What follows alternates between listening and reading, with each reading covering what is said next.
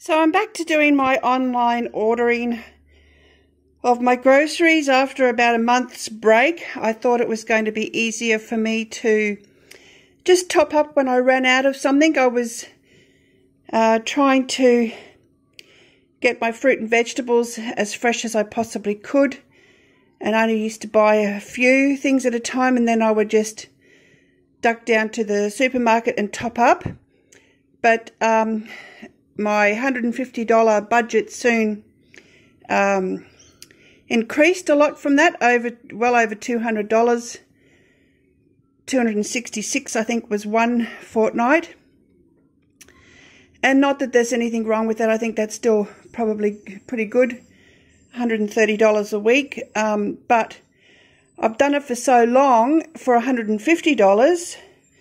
I just kept um, keep thinking, well, I'll go back to doing it online, click and collect, and um, be done with it. But also, um,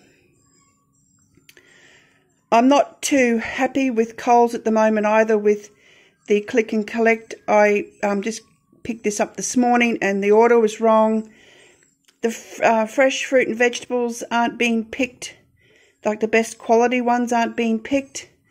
So whether or not I still do my order online and then just take that order and um, go around the supermarket and pick it up myself.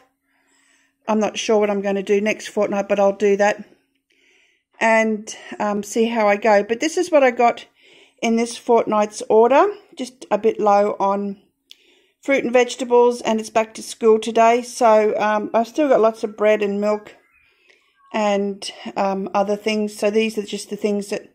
Oh, still lots of um, fresh uh, vegetables too in the freezer that I froze. So um, here we go. So I'm happy with the I'm Perfect um, range of vegetables. They're a lot cheaper. They're not quite perfect looking as the other ones are. So and they're still fresh. So I've got carrots, avocado, um, bananas, onions, potatoes, spring onions, a whole sugarloaf cabbage, just some spaghetti and spiral pasta uh, chopped tomatoes, four long life milk, red kidney beans, tin tuna, uh, some new muesli. It's untoasted, so I'm going to give this one a try. It's just got lots of nuts in it, and it was um, half price. Some frozen mixed vegetables, the crinkle cut um, potato chips for easy meal nights, grated cheese. This was a substitute item. It's not normally the ham that I buy, but um, I got four of those to replace the one I normally get. Dog food, um, pantry and fridge dog food. Tortilla wraps, tortilla chips. They're not the brand I normally get, but these were on special, so they were the same price.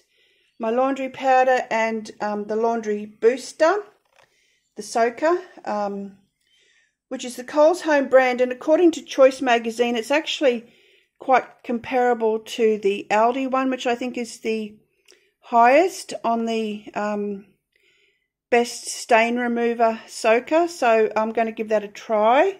I normally just get the um, Vanish one, but I'm trying the Coles home brand one.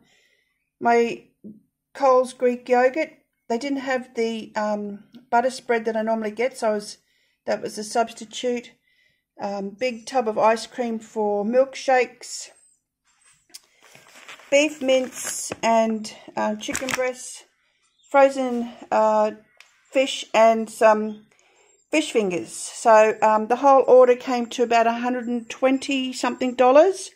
So that leaves me about $25 for a top up next week of bread and milk and fruit and vegetables, anything else I might need. So that's how it works. That's how the Shop Smart Eat Well program works.